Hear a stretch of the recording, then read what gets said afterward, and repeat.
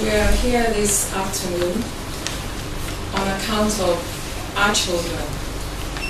Before we look at the context of the question we're going to debate on, which is broken home, the cause, the father or the mother, it is important that we know the role of the children, the, role of a child in the home. A child is a binding force in a home. And a child has a responsibility, a responsibility of bringing up the parents, creating love between the parents. And that is the binding force. But before we can have a child create such a binding force in any home, we as parents must play our role, the role that is expected of us by God Almighty, in which we are told as parents to train up a child in the way he should go, and that when he grows up, he will not depart from it. So it is expedient that the parents know their God-given responsibility, being child bearers and then being child trainers. Because when parents are focused on their responsibility, they will allow love to exude in such a home. And the children will know that where love abounds, there can be no fear, there can be no despair. But that together, they would be grown, they will be taught to grow, to be nurtured up by God. So as you gather this afternoon to consider who is responsible for a broken home, it is something that we expect that at the end of the day, the viewer out there would appreciate that every child can either bring about the union of the parents by strengthening it, or the child can bring about the breaking up. How can a child strengthen the relationship between parents? By being obedient, by having the fear of God first. When a child is God-fearing, that child will know that the responsibility of the parents cannot be carried out by just a mother, nor just a father but that together they stand as a team. So when we are looking at the topic, who should be blamed, we should look inwards and know that you as children have an important role to play. Thank you very much. Thank you very much, Mrs. Cecilia E. Inyang, representing the Honorable Commissioner of Ministry of Women Affairs and Social Welfare. And now, the lead speaker from the opposing team, what's your take on the topic? Before I proceed, I find it indeed wise and appropriate for me to give honor to whom it is due. With this I say, good day the moderator, panel of judges, timekeepers, my co-debaters, and a wonderful and ever listening audience. I am Lucy Ignatius Okoro, Excellence of the prestigious Federal Science and Technical College, Uyo. I am here to strongly support the motion that says Broken homes are caused by fathers, not mothers. I and my, I and my humble speakers will buttress the motion with the following points. Incest, family crisis, maltreatment, mismanagement of funds, shifting of position, child training, family conflict, negligence of responsibility, lack of love and care, self-esteem, superiority, nature of job, and custom and tradition. Speaking on incest and family crisis. According to the Bible, it is a great abomination for a father to have coitus with his daughter. You may think this is impossible, but I tell you, it is happening. It was reported some time ago in one of the primary schools in Etinan about an 11-year-old girl who was impregnated by her own father. Now tell me, what sort of a father would do such a thing to his own daughter? This immoral act by the father is very barbaric and can cause family breakage. I'll come to you later. We also have famous men that are we also have famous men that are involved in this broken home. We have Fred Amata, the Nigerian actor. We have Frank Edoho, the presenter of Who Wants to Be a Millionaire. Pastor Chris Okotie and Pastor Chris Oyakhilome. Now, Pastor Chris Oyakhilome's wife threatened to divorce him and she said she could give 10 good reasons why. But the court gave her two years to have a rethink.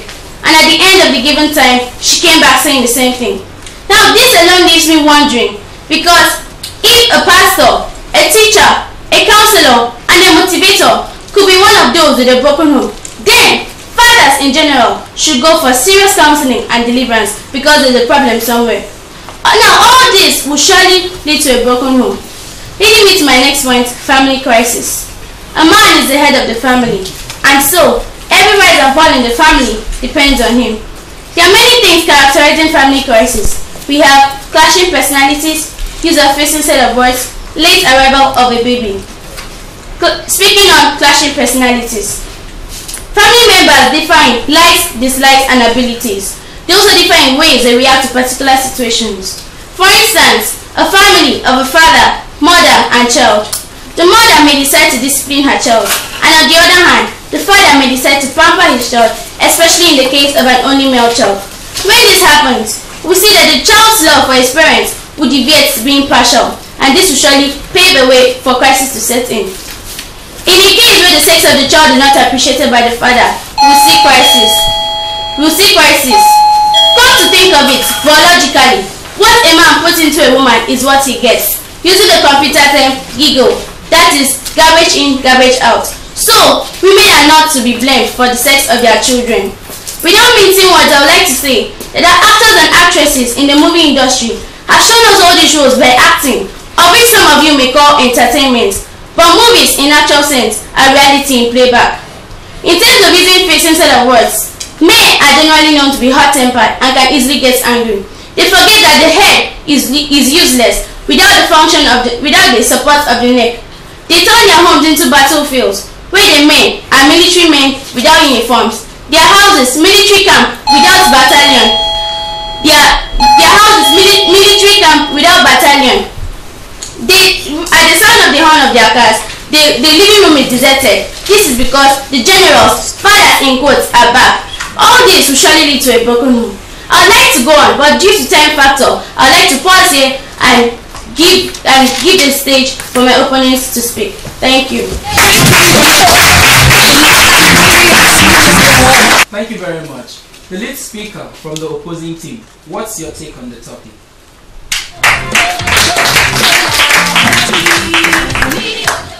Mothers, mothers, mothers.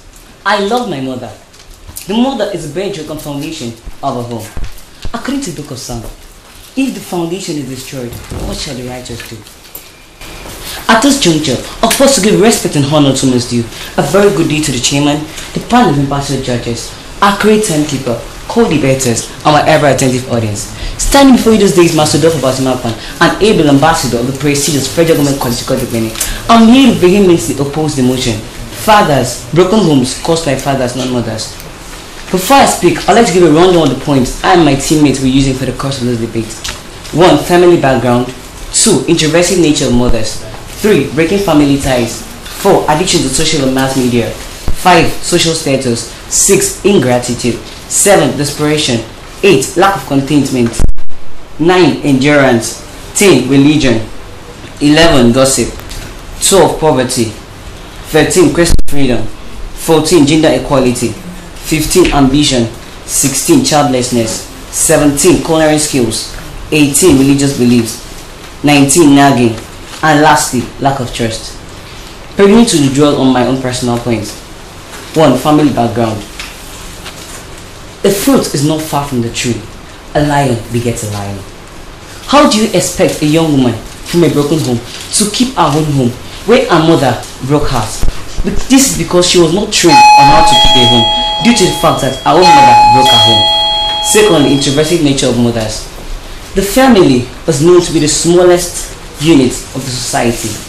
And how would you feel if in this small unit a woman creates a wall around herself because she's an introvert? If you're a husband, you come back home, you're so depressed and you want to speak with your wife, and she does not want to speak to you because she's an introvert, of course you want to go outside and speak.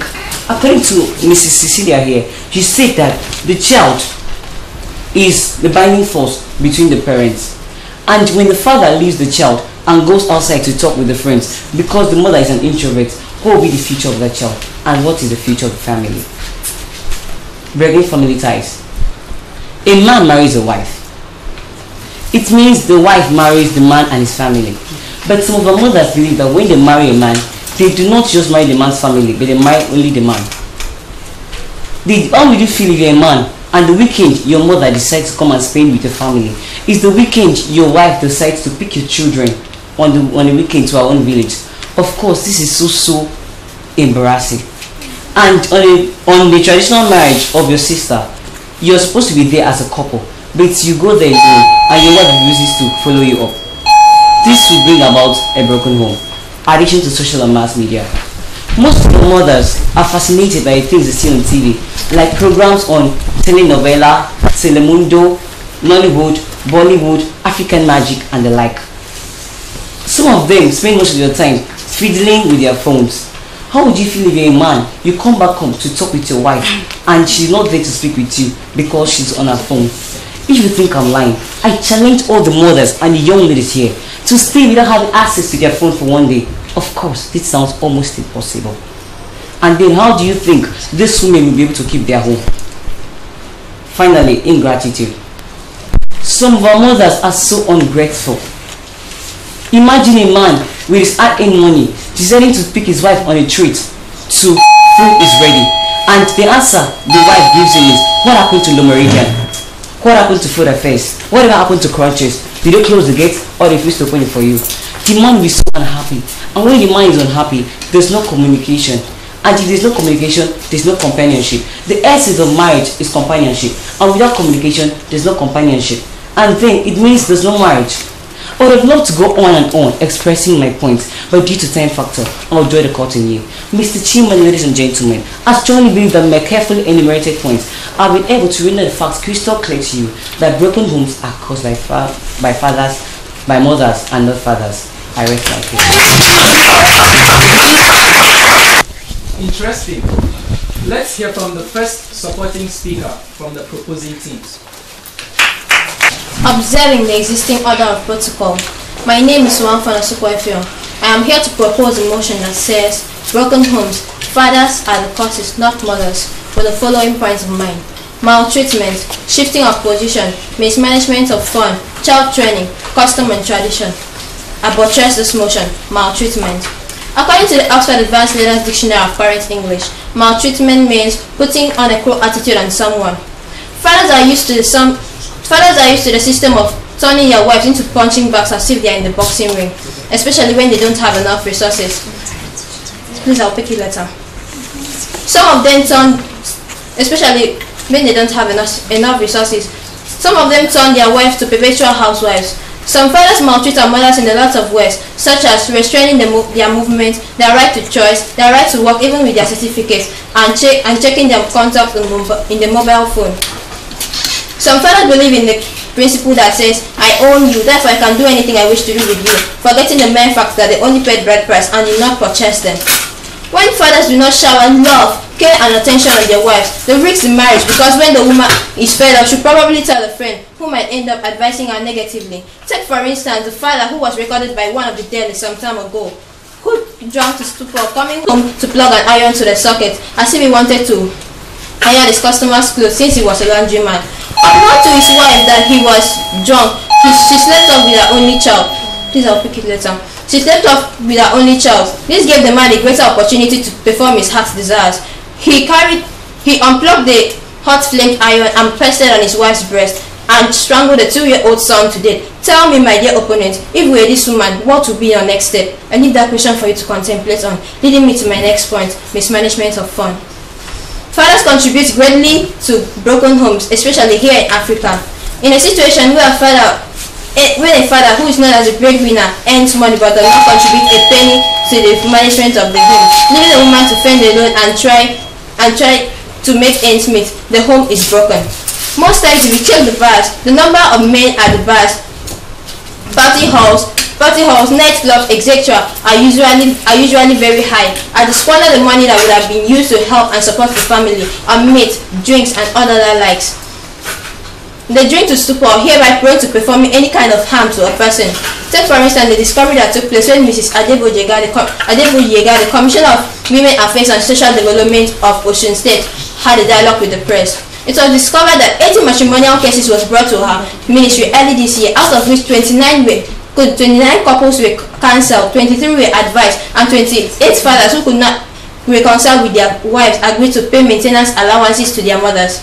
Now with this, I'll pause at this juncture to tell you that to tell you that 80 ma- to, to tell you that about 70% of our uh, of our broken homes are caused by our fathers, and it takes the last straw for a man for a woman to leave her matri- matrimonial home.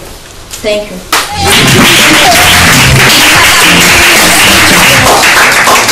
The first supporting speaker from the opposing team. I don't think you agree with that. So let's have your point.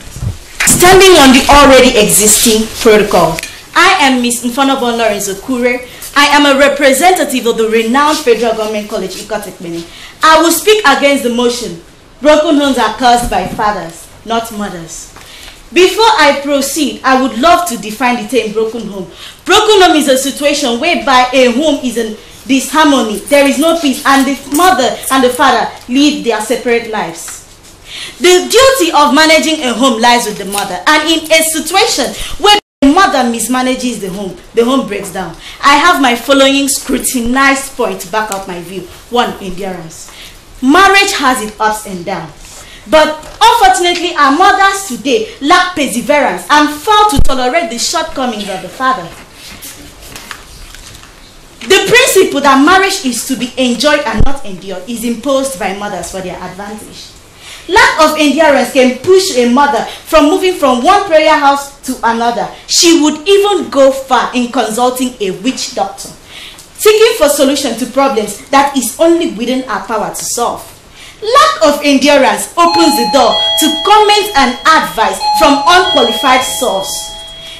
A home will not stand because definitely the mother will pack out of the house to live in a memory lane. Two, religion. Mothers are naturally religious, but a mother primary devotion is at home. Mothers spend greater percent of their time indulging in religious activities such as vigils, prayer meetings, Bible studies, choir practice at the detriment of our home. Fathers are very sensitive. They do not fail to notice this. And if a father should caution his wife, she will regard him as her enemy or as a weapon fashioned against her. 3. Gossip. Marriage has its terms and conditions. Privacy is one of them. But women are gossips by nature. A mother throw caution to the wind and go ahead to divulge her family secrets at the detriment of her home. An idle woman can gossip 24 hours around the clock, paying little or no attention to her home. A classic woman gossips, but she does so through the means of social media. A- If a woman does so, she strips her home of its dignity and honor. Men would not love to live in a home with a mother who cannot control her tongue. Therefore, a thing goes in our in our dialect. Are we like gossip anyway, them? A gossip brings trouble to herself and her home as well. I would love to go on, but time they say is not on my side. Therefore, I believe I have been able to clear all reasonable and unreasonable doubts that mothers are the cause of broken homes, not fathers. Thank you. Alright, we've heard from the lead speakers and the first supporting speakers. Now we'll go on a short break. Please stay with us. It was my big sister's matriculation. Mom and dad My. were so proud. And the party was quite ready. Till we all got whiff of an unexpected guest. There's a rumble in my tummy going boom bada boom bada boom. It means that I am hungry and me me time is near. I am so excited that I can hardly wait. My mouth is getting ready to sing the Mimi song. Me, break me, any way you make me. Mimi, Mimi, boom, sha, sha. Mimi, taste me, feel me, any way you want me.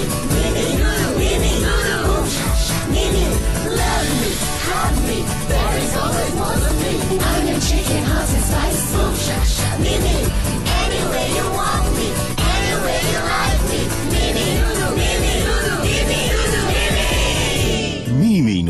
There's more to me. Produced by May and Baker. Boom, sha, sha.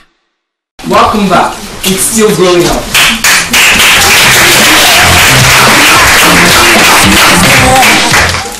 For credible comments, contribution, observation, and sponsorship, you may call the number displayed on your screen, or you may like our Facebook page at www.facebook.com slash growingup.debate. I repeat, www.facebook.com slash growingup.debate. Thank you very much. At this point, I'll hand it over to the panel of judges for the adjournment of the motion to be moved. you, I, I want to say that they have done very well.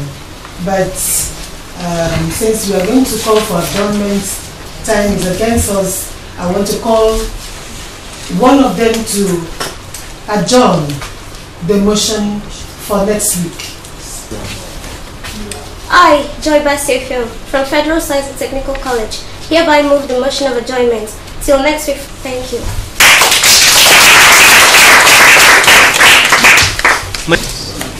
My name is Master Michael Kingsley Daniel. I'm representing Federal Government College, Ikot Ekpene. I second the motion. Thank you. Thank you. Thank you very much, our panel of judges. Uh, special guest, our mother in the house representing the Honorable Commissioner for Women Affairs and Social Welfare. Thank you for coming. on. On that note, we call it a day on this week's package. I hope you had a swell time watching today's package. We are adjourned to next week when we shall be seeing the concluding part of the motion, which says broken homes caused by fathers, not mothers. So keep a date with us, same time, same station. My name is Emma Miriam Setife. Blessed.